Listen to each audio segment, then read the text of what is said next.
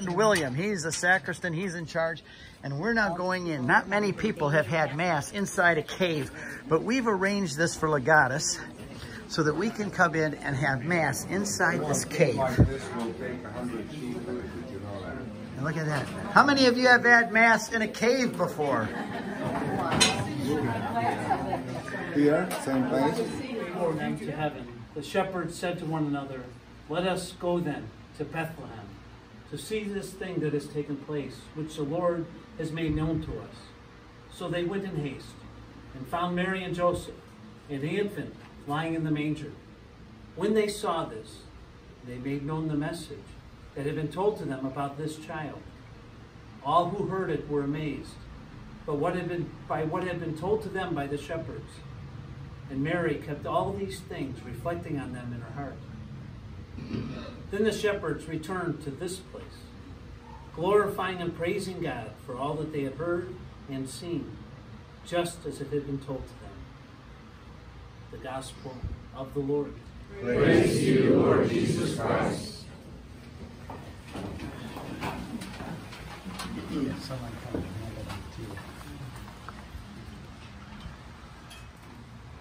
Our presence here today in Bethlehem turns our attention immediately to Christmas. And for many people in the United States, at least, there is a standard Christmas tradition watching the classic movie, It's a Wonderful Life. We all remember it.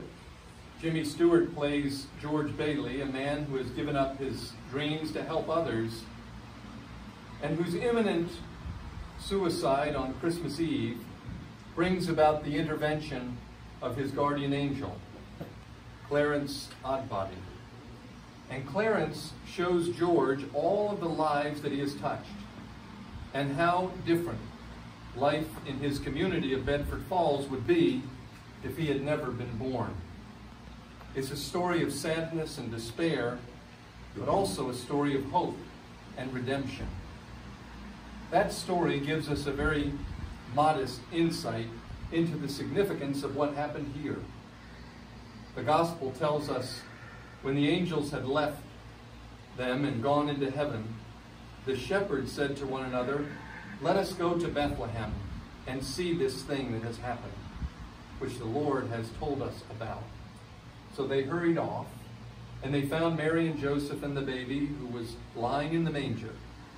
When they had seen him, they spread the word concerning what had been told them about this child, and all who heard it were amazed at what the shepherds, shepherds said to them.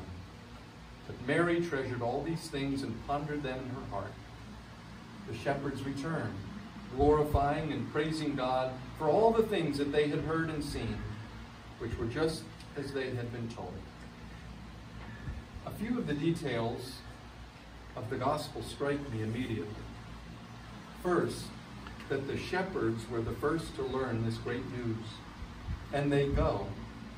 And after they had seen what they had what had taken place, they immediately announce it to everyone. Interestingly, we call our bishops and our priests shepherds. Is it any wonder, then, that these menial workers would be used and would be the first of those sent to bring the good news to the world? Second, Jesus was born in a stable or a cave. Many commentaries say that he was lying in the food trough that the animals ate out of.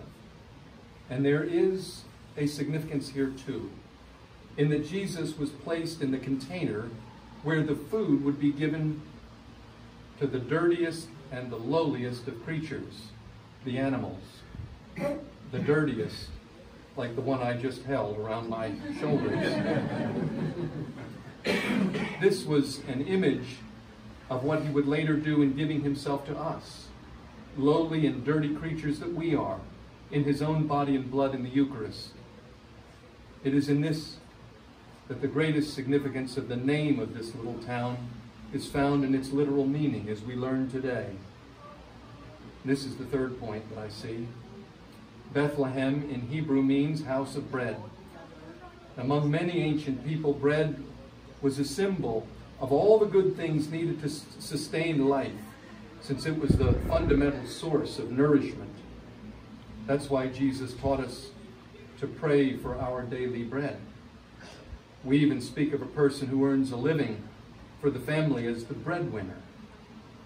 A house of bread is a home where a person can be fed and warmed and comforted and welcomed. Jesus chose bread, those simple elements of bread, together with wine, to be the elements of the Holy Eucharist. Having taken human nature from his mother and been nourished at her breast, he wished to nourish us by transforming bread and wine into his own body and blood. The Eucharist sustains our spiritual lives. It helps us to grow more like the giver, Christ himself. It repairs the wounds of sin. It cleanses us of our dirtiness and gives joy to the hearts of all believers. But we know that as beautiful as this place is, and as peaceful as it was, that we cannot remain here forever.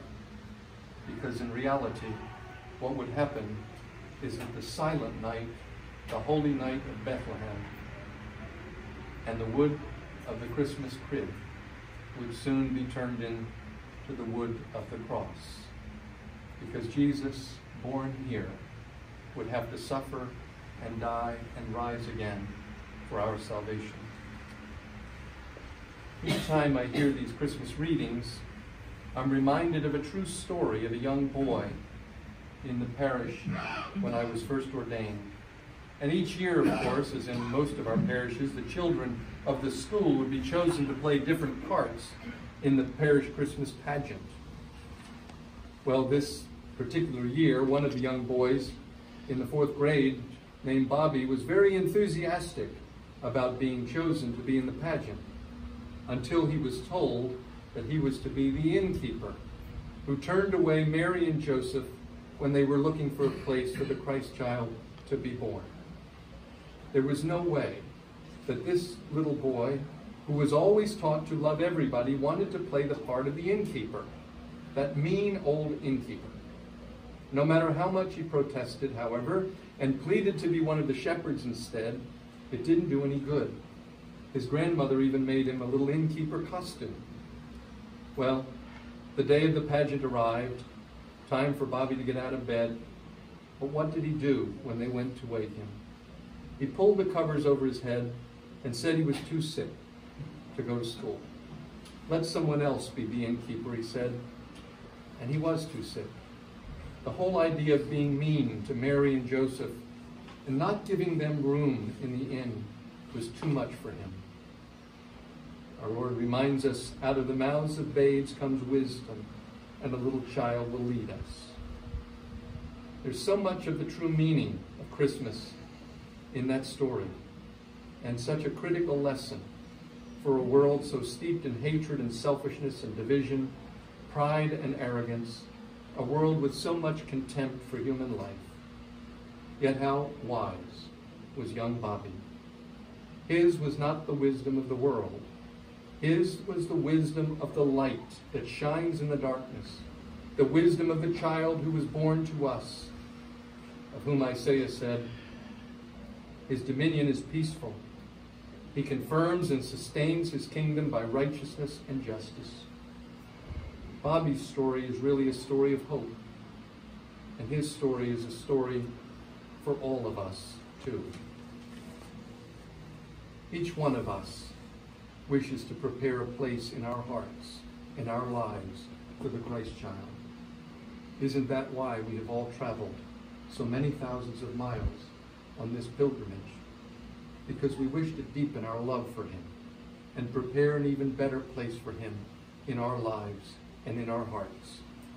And God has given us all of the means needed to do it. How privileged we are to be in Bethlehem, this house of bread where we are fed and warmed, nourished, comforted, and welcomed by Jesus himself, born for us once again in the Eucharist we now celebrate, through which he allows us to share in the most wonderful life that we could ever imagine, both here and hereafter.